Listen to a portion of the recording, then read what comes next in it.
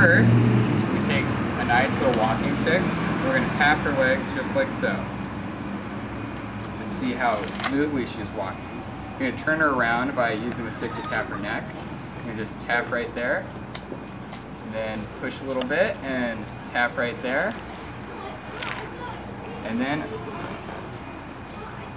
give her a nice big pose.